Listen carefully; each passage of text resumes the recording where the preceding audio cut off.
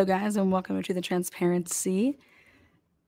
Yes, as promised, a double dose of truth and transparency today. This is your intro episode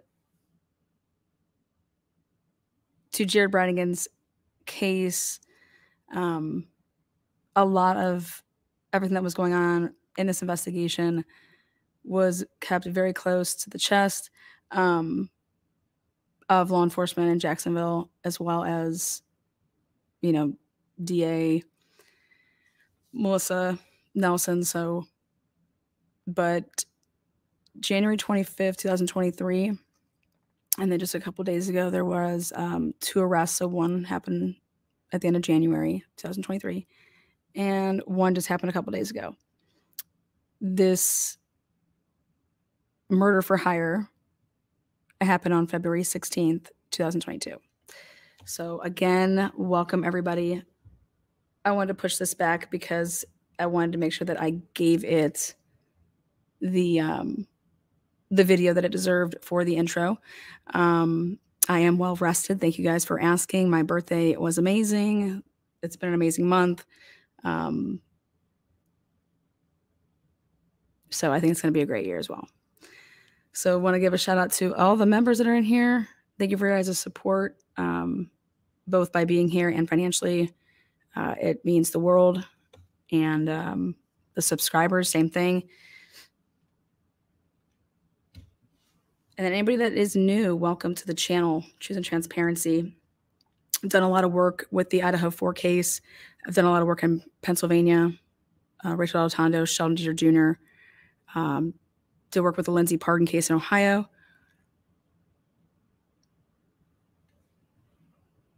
Started up a nonprofit in um, March of 2021, Fight for a Family. So, just a quick little.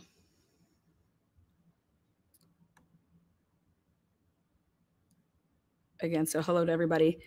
I'll let those notifications click in.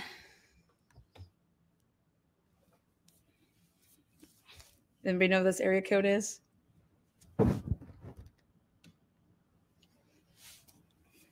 Nasty, the dirty, dirty.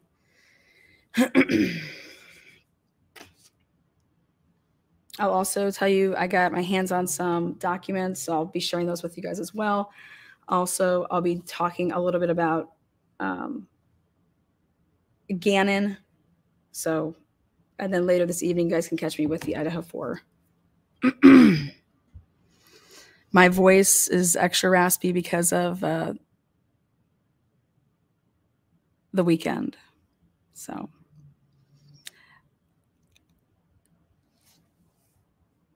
Glad you had a breast. Thank you there, Marsha. That was a much needed laugh there by I'm sure all that was watching in live chat. Again, if you're new, there is a way that you can chat while this is happening. All that we ever ask is that you be uh, kind to one another. You can always have differences of opinion. Um, I don't expect anybody to always have the same opinion. And in fact, usually when everybody does, that means someone's lying. So have your opinions, have your thoughts. All that I ever ask for is that they are done um, respectfully for uh, and towards other people. All right. Lana is great. We love you. Oh, thank you so much. Appreciate that.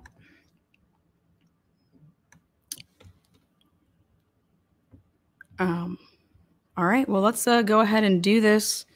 Again, there's a pre-record about 12 minutes, and um, then we'll jump into some of the intro with uh,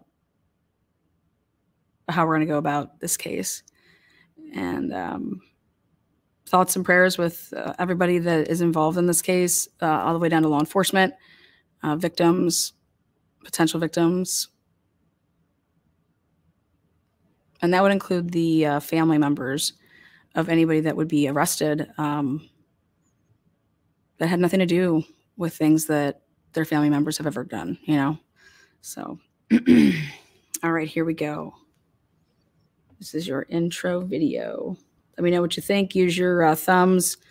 Slap the thumbs up or thumbs down on uh, on this video when you're done here today.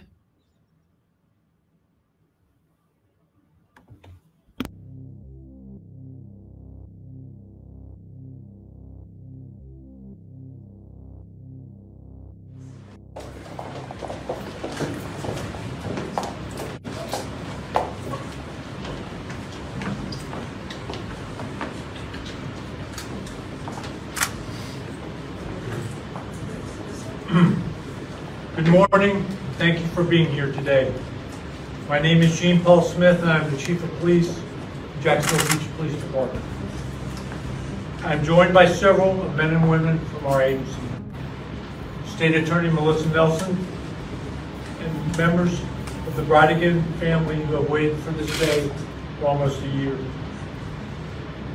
On February 16, 2022, Jared Bridegan was driving home from a planned date night with his children.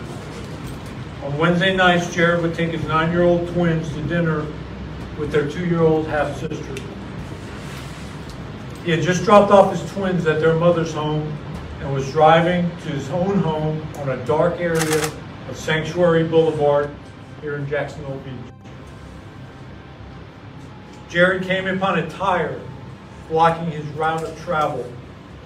That tire was purposely placed there to make him stop.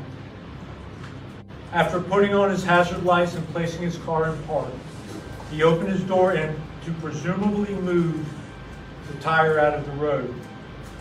It was then that he was gunned down in cold blood. Nothing was stolen from him.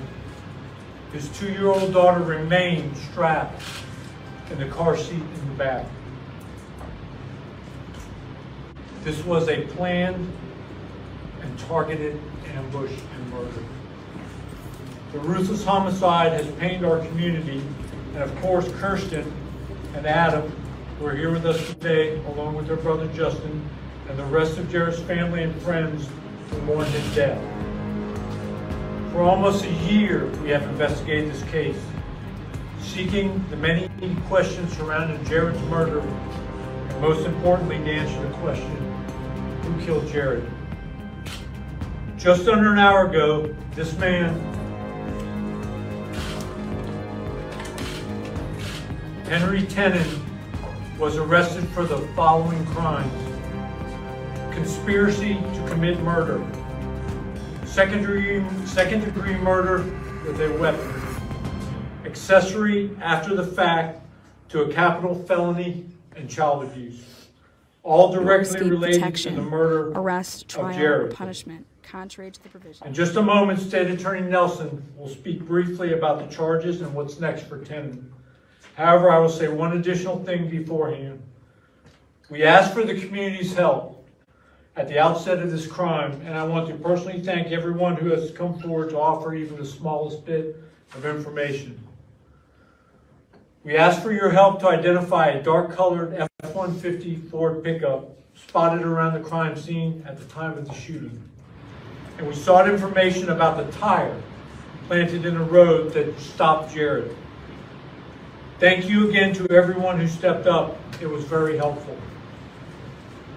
We hope to have more answers to provide to you, even if not, it cannot be today.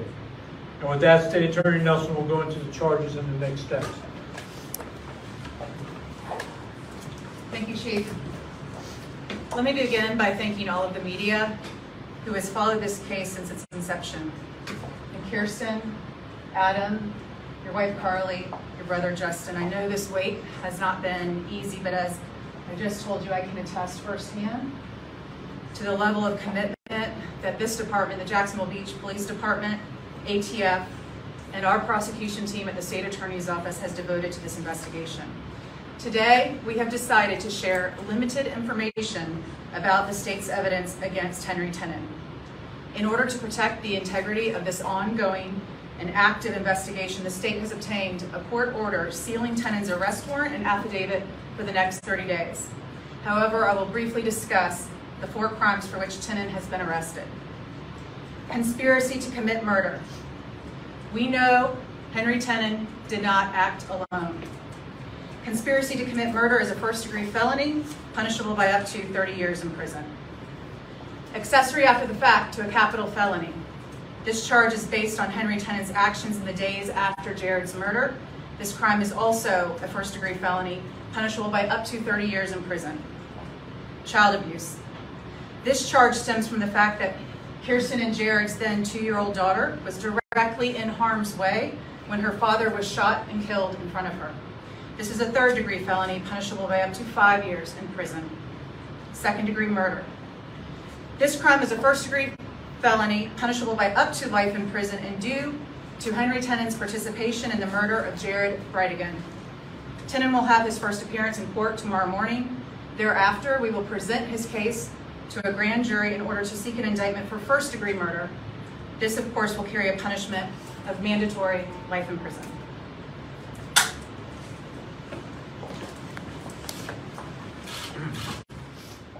Thank you, State Attorney Nelson.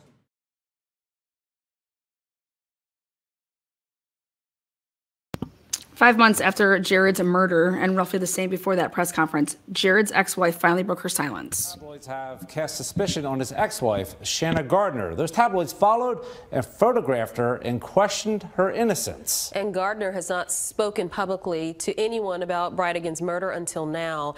And tonight, in the only TV interview she says that she will be doing, Action News Jax Kristen Rary has the exclusive interview with Gardner. As her innocence has come into question, Shanna Gardner spoke to me in the only TV interview she says she'll be doing to tell her side of the story. I do want people to understand, you know, where I'm coming from. Almost five months after Jared Bridegan was murdered in the street in front of his two year old daughter, we spoke with his ex wife, who has not commented publicly so far. Our first question why have you stayed silent? I was asked to not talk to the media or give a public statement, but with the level of speculation, I felt that now it was necessary to to speak out. Shanna Gardner revealed she was asked by Jared Bridegan's widow, Kirsten, not to speak publicly, but we wanted to know how the relationship could have gotten to that point. I'm sure they you would say that we've had happy moments. I mean, we shared two most beautiful children in the world. In 2015, Jared and Shanna divorced. Their court records, which we obtained from the St. Johns County court system, revealed a long, complicated process lasting over five years. Anytime divorce comes into any situation, it's messy. It just is. I will say that I think that we both love our kids Jared and Shanna both wanted full custody. The court file details allegations of spying, deceit, and more. In the end, Shanna and Jared reached an agreement. They shared custody, and whenever the children were at one parent's house, the other would come over Wednesday and have a date night. That's exactly what Jared and his twins did the night he was killed. It was actually one of the one of the things.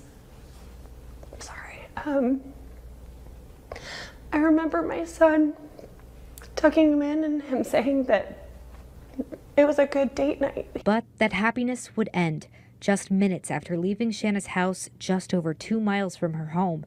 In a quiet neighborhood with few security cameras, a tire was rolled out into the street. Jared got out of his car to move it and was shot dead. His two year old daughter sat in the car, strapped into her car seat alone for three minutes before someone came to help. I was shocked.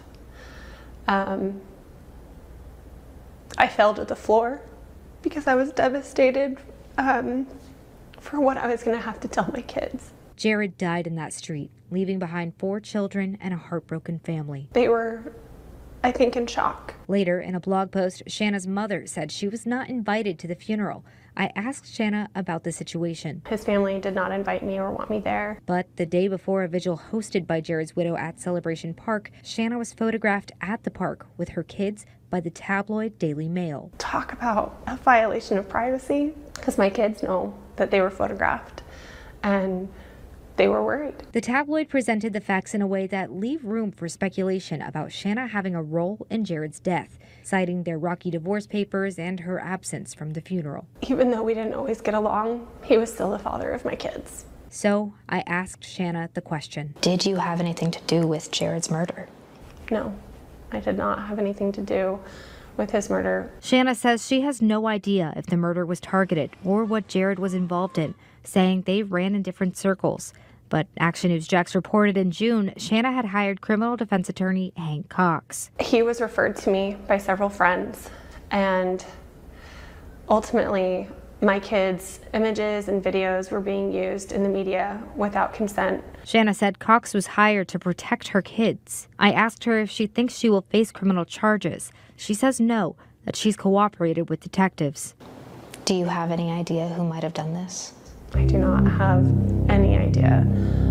I As I said, we've been divorced. We don't run in the same social circles. I all I know is that I would never want anybody to go through this.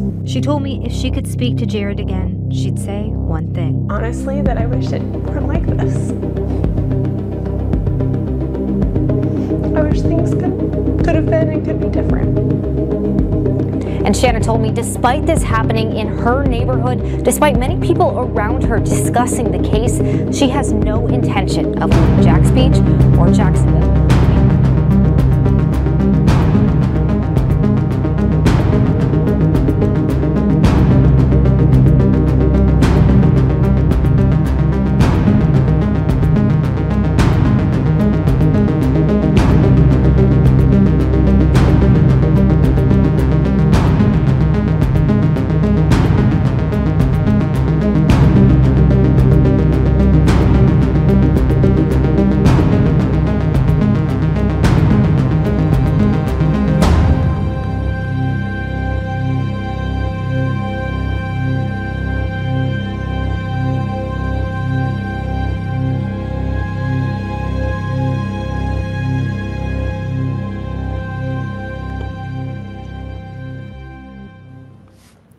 Guys.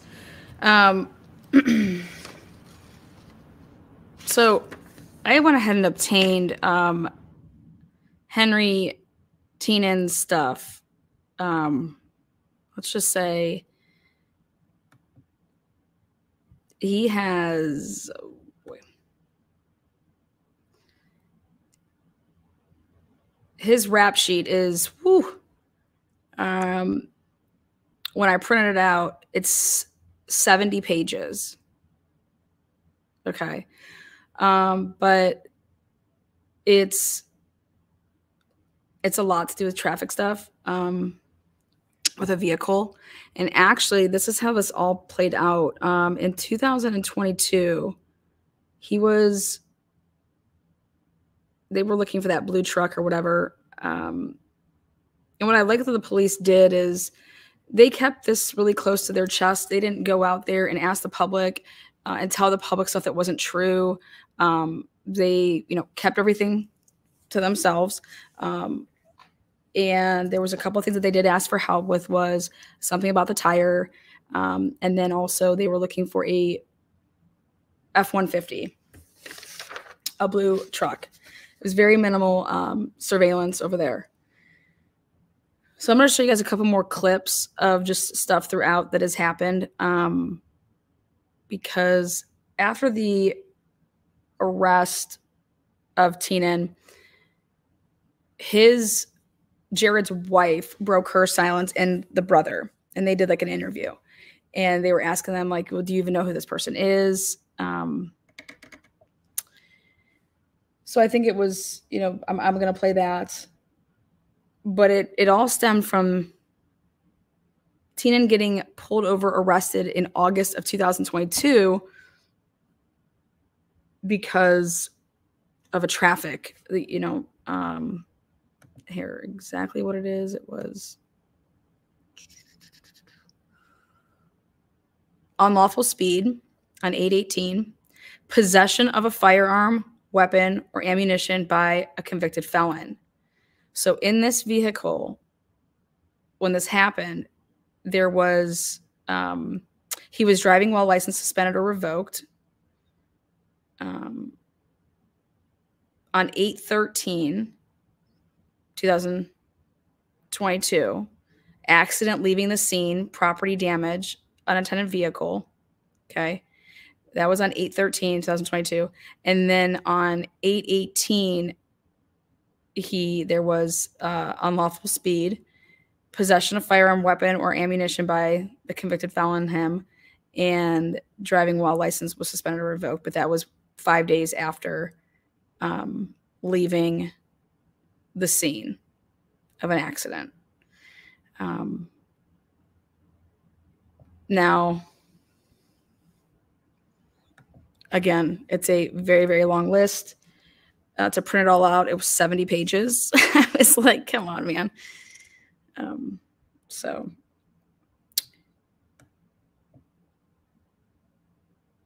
so that's kind of how all that started because when they had arrested him, this Teenan guy, they asked him some questions to do with um, Jared. And my guess is because they have not come out and say this again, so I'd be speculating, is that I'm very curious to know what vehicle it was. Um, you know, what type of gun was used to kill Jared? Did he have this type of gun? Was the bullets stuff like that?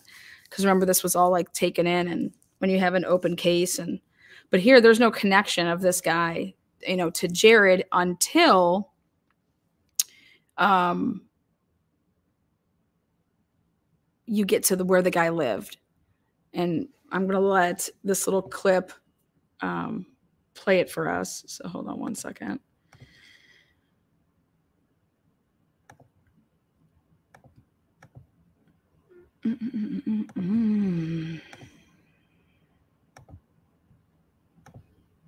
Since an arrest was announced in her husband's murder. I have felt since the beginning that this was planned, this was thought out, and this was specific to Jared. And Bridegan's brother, Adam, reveals Jared had a haunting fear before he was gunned down. I won't get into specifics, but I, I did have several conversations with Jared where he did express concerns that something like this could happen to him. The man now held in Bridegan's murder made his first appearance in court today on a list of charges. That arrest is giving the family of Jared Bridegan hope, but they say this is not over yet. Investigators say Henry Tenon did not act alone and that the murder was a targeted ambush. They believe someone placed this tire in the road, and when Bridegan got out of his SUV to move it, he was shot to death. Tarek, we'll have more in a moment on Tenon's court appearance. We begin, though, with News4Jax I-Team investigator Vic Micolucci, who sat down with Bridegan's widow and brother about this new development in the case. A beloved father of four, Jared Bridegan meant the world to his family, loved ones who have not given up hope, even after nearly a year without answers. There are times here and there that I was concerned. Um, I'd reach out to law enforcement and just say, is there anything you can tell me? And, you know, they reassure me, hey, we're working diligently. Like, we are not forgetting Jared. Bridegan's widow, Kirsten, and his older brother, Adam, telling us today for the first time. Thank you for being here today. They have some sort of an answer after learning someone's been arrested for murder in connection with the case. 61 year old Henry Tenon behind bars. A step in the right direction. Huge step. Had either of you ever heard of Henry Tenon before he came up in the investigation? Never in our lives. I have no, no idea who this individual is. But the News4Jax I team uncovered property records linking Tenon to Mario Fernandez. He's married to Bridegan's ex wife, Shanna Gardner. For- okay, so then I went ahead and took and, and just looked, you know, just double check everybody's work. And um, because normally if you if you rent from somebody um, and you actually fill out the paperwork the right way um, and you're getting mail at a house that they own and you rent, you're going to have um, you're going to be considered associates uh, on a lot of when you're doing a lot of background checks on on people. Uh, people, it'll come up that you're an associate of this person, and I'm curious to know um, if when he was doing this Tina guy, because he's obviously, I mean, he's a felon. Um, if he was renting this through actually his name and did he actually go through the process of filling all that out? Because I'm I'm just curious because that address that he and the guy have the same address because he's renting to him which is the husband of the ex-wife of Jared um, they aren't technically linked via being associates but their addresses are linked. So just um, also between the month um, there was 35 phone calls in the month of uh, February and then the month after. So it was like a total of 70 phone calls between the ex wife's man and Jared, um, and, and the guy that killed Jared, rather. Uh, there was also three checks that was written. Um, but it all stemmed from this guy getting pulled over on that um, August 13th, uh, you know, August 13th and August 18th. Yeah, there was three checks. Uh, that is that was redacted. Um, the amount of the three checks right now. Um, but the the papers that I obtained, it's about. It says that Teenan conspired with human beings, as in plural, so it wasn't just human being.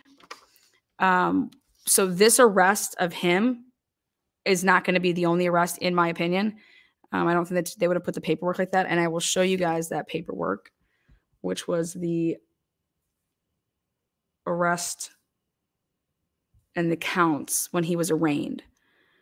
But I'll let this continue, and then we'll come back to that. Fernandez. At the time of the shooting, Tenon rented a room in the home that Fernandez owned. What do you think about that connection between Henry Tenon and Jared's ex-wife's husband? I mean, it's scary, right? It's it's frightening, frankly, that there is a connection and that there is this mass conspiracy. It it does not help us sleep at night. Shanna and Mario Fernandez have not been charged, nor have they been publicly named as suspects.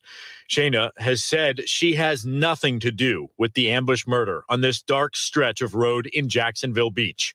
It happened just minutes after Bridegan dropped the two children he shared with her off at her home. As I learned more details of what happened to Jared, you know, that there's a tire, um, it was pretty clear that someone knew his route, his schedule. I have felt since the beginning that this was planned, this was thought out, and this was specific to Jared. So I am not surprised that they announced that Henry Tenon, someone that we've never heard of, that Jared did not know, wasn't alone in this. Loved ones hoping he opens up to detectives and gives up information about who else is involved. Bridegan's brother today with something we had not heard before, something startling. I did have several conversations with Jared where he did express concerns that something like this could happen to him. That he could be murdered. I won't go into specific details into that, but he did have concerns on his life. The past 11 months have been so incredibly painful for this family, grieving a great loss while living in fear. His now three year old daughter, Bexley, who was in the SUV at the time of the shooting, has so many questions. How is Bexley? How's she doing?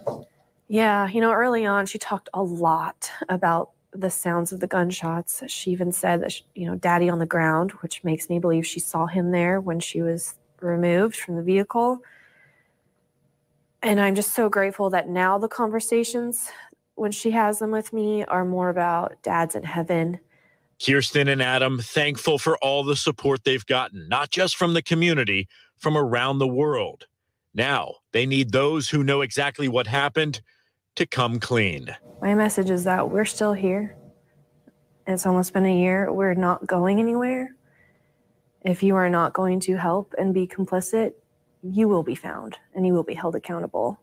So now is your chance to try to make it right. They have a long way to go for justice for Jared.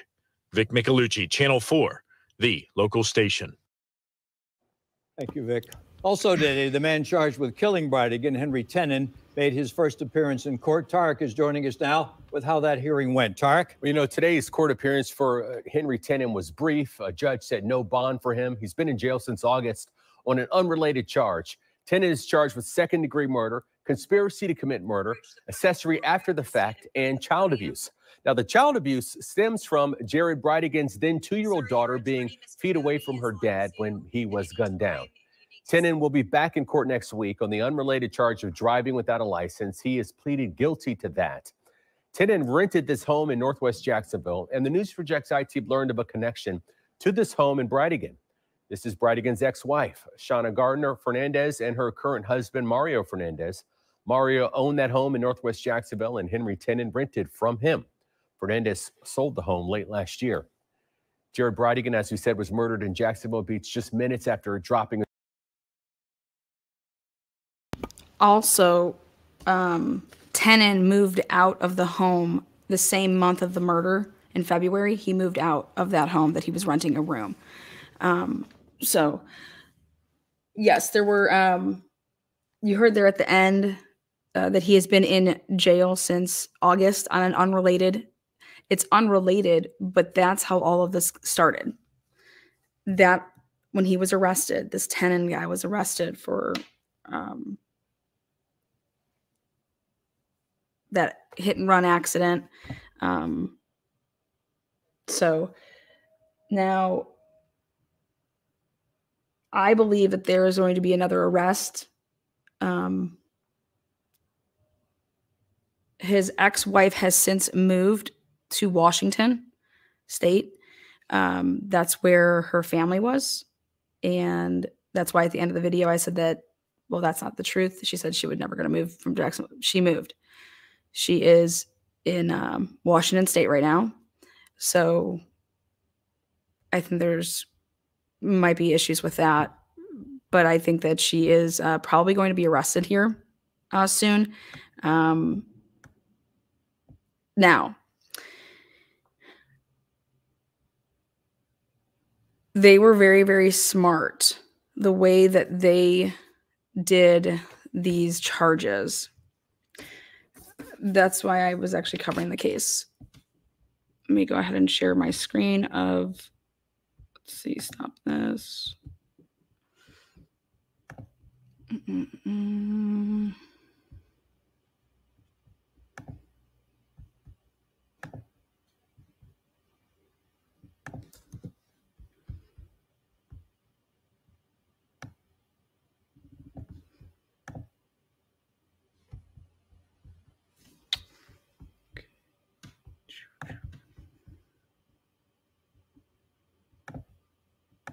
Oopsies.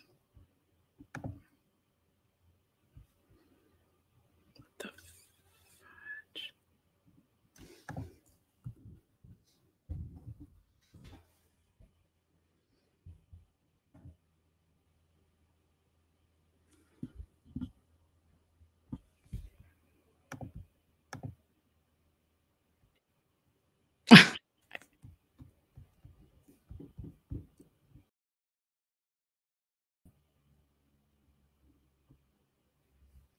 Testing.